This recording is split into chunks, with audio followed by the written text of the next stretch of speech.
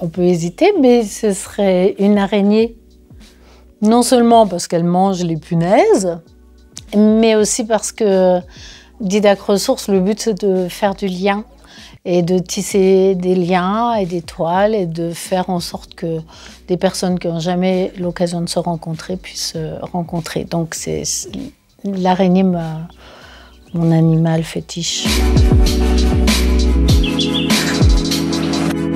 Punaiso, c'est parce qu'il y a des personnes qui étaient concernées par des punaises de lit, qui nous en ont parlé et qui ont dit à quel point c'était une horreur et c'était difficile de s'en débarrasser et quel était le poids de, ça, de, porter le fait d'avoir euh, subi des punaises, le, le, regard des autres, le fait de plus pouvoir sortir, de plus pouvoir rien faire. Et donc, c'était ça.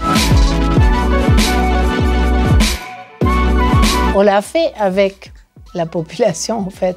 On l'a fait avec les gens.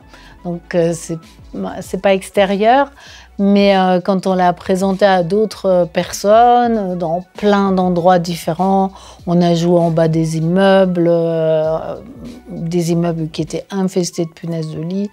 On a joué un peu partout avec euh, des personnes très très différentes. Et même nous, dans notre tiers-lieu maintenant, il y a des personnes qui viennent jouer juste pour jouer parce qu'elles apprécient le côté sympathique et stratégique euh, du jeu, même en dehors des punaises. Et à chaque fois que les personnes jouent, elles sortent de là enrichies et savent un peu mieux comment, euh, quels sont les moyens mécaniques de lutter contre les punaises.